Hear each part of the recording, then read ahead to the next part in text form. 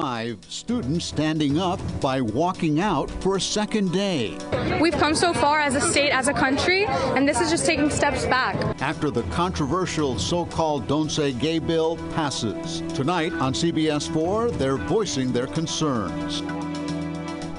Chopper 4 flying over those schools. The one you see behind us is Pembroke Pines Charter School. CBS 4's Ashley Dyer joins us from another school, Mast Academy, with more on the pushback to the Don't Say Gay bill that Governor Ron DeSantis is expected to sign. Ashley?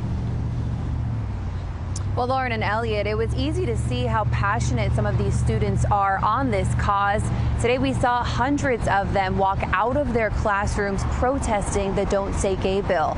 They chanted and carried signs through the courtyard of the school. We even saw some employees involved in the demonstration. Middle schoolers all the way up to high school seniors. Today, students gathered outside of Mast Academy showing their support for the LGBTQ plus community and their disapproval for the controversial Don't Say Gay bill. That's something that's been a part of American history. It's been a part of culture, and it's really important to talk about. We say gay! We say gay!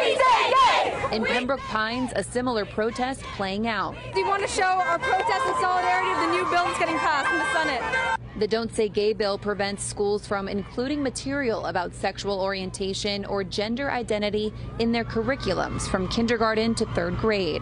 It would allow parents to sue schools or teachers that teach about LGBTQ plus role models. If there's somebody part of that group at a young age and they're aware of their um, sexual identity, they're being oppressed. This isn't the only bill under scrutiny. Today, the Florida Senate passed a bill that bans the teaching of critical race theory in public schools and private businesses.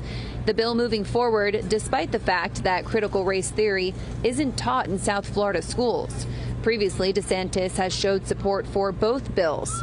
The Don't Say Gay bill is heading to his desk next. I might be just 16, but you know, um, I think I should have a say in who I should marry, who I like uh, who I can be, how I express myself. I don't think it should come from someone who doesn't know me. Gabriela Daza says there was a time when she didn't feel comfortable being herself, and she wants to prevent anyone else from feeling that way. It might help other people who are struggling with the same thing.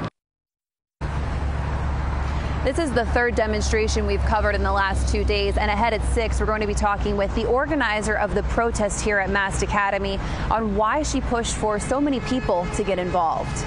We're live from Key Biscayne tonight. Ashley Dyer, CBS 4 News.